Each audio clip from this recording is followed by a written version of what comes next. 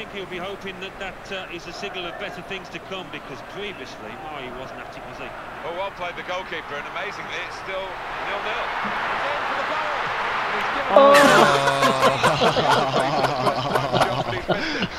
Oh man.